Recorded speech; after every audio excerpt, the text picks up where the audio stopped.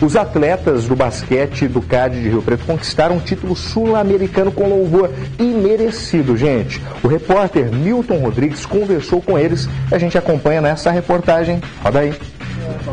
Uma campanha impecável. O time rio-pretense de basquete sobre rodas foi campeão invicto do Sul-Americano. O torneio foi disputado em Bogotá, na Colômbia, cerca de 2.800 metros acima do nível do mar tipo, não atrapalhou, mas sim a gente sentiu um pouco. Uns a gente, acho todo, todo mundo, tiro por mim mesmo, eu senti um pouquinho. O duelo final foi contra os donos da casa, derrotados por uma diferença de 24 pontos. Uma conquista que será lembrada pelas medalhas, troféus e pela redinha da cesta, que virou prêmio na mão dos atletas brasileiros.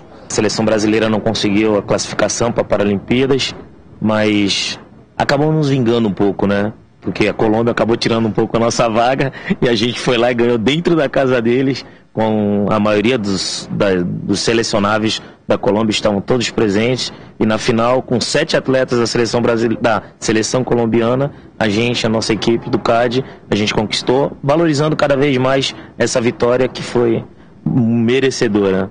Paulo Jatobá foi eleito o melhor jogador da competição e viu ainda o colega Eric brilhar na decisão. Ele foi o cestinha da partida com 27 pontos.